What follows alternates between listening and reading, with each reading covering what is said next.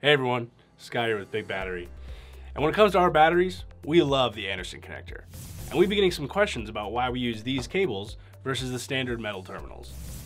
So we want to share with you all a bit about our manufacturing philosophy and why we design around the Anderson connector.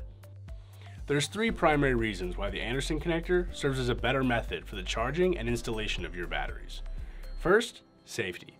Keeping the terminals in a durable, chemical resistant, and contact free housing means that you don't need gloves or other safety equipment to handle your batteries, and they won't be at risk in rough or potentially hazardous environments. Second, simplicity. Anderson cables are not only easy to connect and disconnect, but also easy to service, boasting accessibility that can't be found in metal terminals. And lastly, lifespan. Anderson connectors require zero routine maintenance and offer more mating cycles than metal terminals, which can suffer from corrosion and other damage. Let's head outside so you can see the Anderson connectors in action. Alrighty guys, so we've already taken the six lead acid batteries out of this golf cart and we've dropped in two of our 24 volt lithium ion battery boxes. Now let's say you want to take these out, service them, replace them, whatever it might be. Let me show you how simple this is.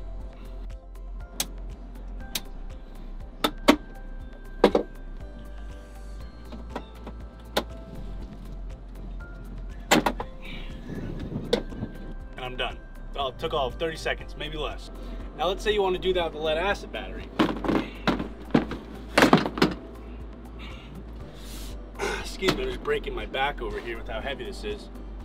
Now if you want to do the lead acid battery, you have to carry a small tool bag with you because you need your pliers, your ratchet, your gloves, and if you really want to be safe about it, you need goggles. Now, it's not nearly as simple as the one, two of our lithium ion battery boxes. Some of these battery banks, these lead acid battery banks, can be grossly complex. And they only get more complex the more power you need. Now, even with other lithium ion batteries, connecting and disconnecting can be incredibly complex. But with a big battery setup, we use the Anderson cable to make it as simple and as safe for you.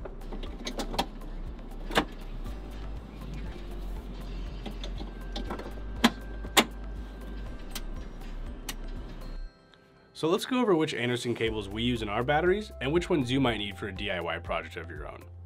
We use the SB175 and the SB50 in all of our battery systems. And these numbers refer to the amperage of the current that can safely pass through the cables. For most battery setups, the SB50 or 175 will do the trick. We use the SB175 in our larger batteries, such as our power blocks, power walls, and some of our battery boxes. And we use the FB SB50 in some of our smaller power packs. These cables use 6 and 8 gauge wire respectively.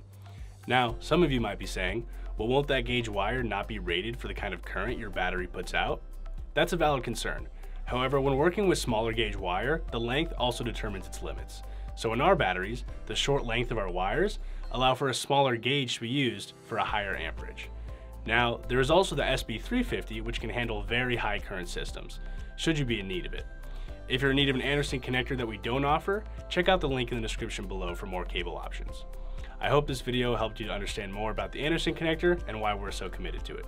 Thanks for watching, and I'll see you guys next time.